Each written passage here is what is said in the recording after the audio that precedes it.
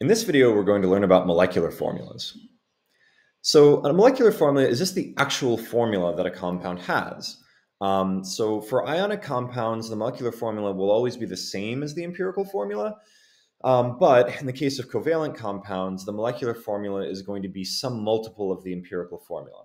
Now, it might be a multiple of one, so that the molecular and empirical formulas are the same, but it might be that the molecular formula is two or three or four or more times the empirical formula.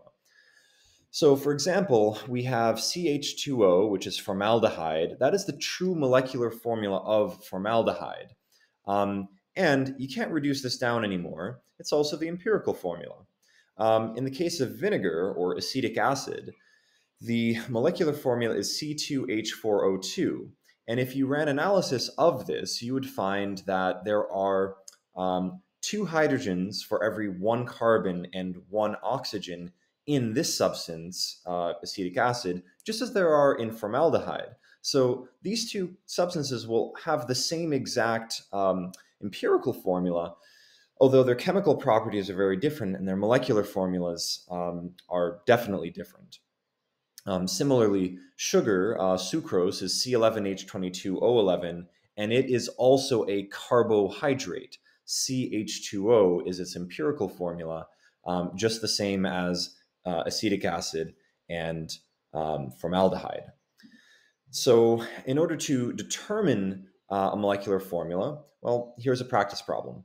Um, let's say that we have a sample of an unknown compound that's analyzed and determined to contain 12.3 grams of carbon, 1.45 uh, grams of hydrogen, and 2.87 grams of nitrogen by mass. If its molecular formula has a molar mass of 162.23 grams per mole, what is its molecular formula?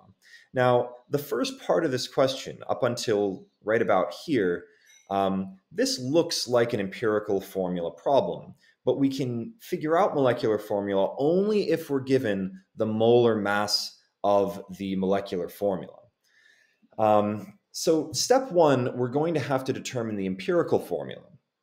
And to do that, we'll just do the same thing that we've done before. We will uh, convert the grams of carbon to moles of carbon, the grams of hydrogen to moles of hydrogen, and the grams of nitrogen to moles of nitrogen. And what we find uh, are these amounts. Next, we have to divide all three of these by the lowest among them, which is essentially setting the smallest among them to one. Uh, that would be the number of nitrogen. So we find that for every one mole of nitrogen, there are five moles of carbon and seven moles of hydrogen. Um, and so therefore, the empirical formula is C5H7N. Now, from here, the question is Is the true molecular formula the same as the empirical formula? Is it twice as much? Is it three times as much? Is it four times as much? Is it, you know, C5, um, sorry, C25, H35, um, N5, for example? Those would still have the same mole ratios that we found here. But given that we know the molar mass of the molecular formula, we can figure out what the molecular formula's true mass is. And the way that we do that is by uh, determining uh, the ratio of the molar masses of the molecular formula to the empirical formula. So the molar mass of the empirical formula we're going to find as such. It is apparently 81.13 uh, grams per mole. And um, now we can take the ratio of the molar mass of the molecular formula to the molar mass of the empirical formula, which is 162.23 grams per mole over 108 uh, or 81.13 grams per mole, and we find that that comes out to pretty much exactly two. Um, so this indicates that the molecular formula weighs twice as much as the empirical formula, and so from that, we just take the empirical formula, multiply everything by 2, and our molecular formula is C10H14N2.